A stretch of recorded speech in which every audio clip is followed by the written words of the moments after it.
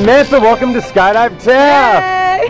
How you feeling today? I'm feeling awesome. Are you ready to jump out of a I'm perfectly so good airplane? So ready to jump out. All- ready.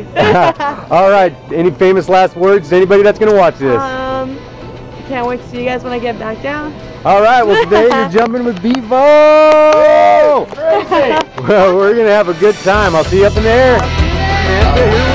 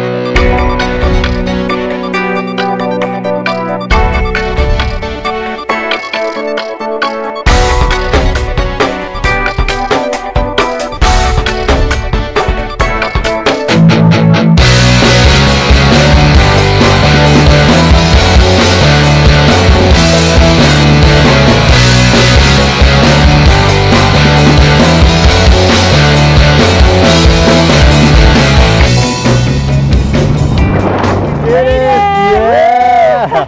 How'd you like it the second time around? Even better. I can't wait to go again. All righty. Well, thanks for coming with me today. Thank you so much. Thanks for You were coming to. Skydive Thanks so much.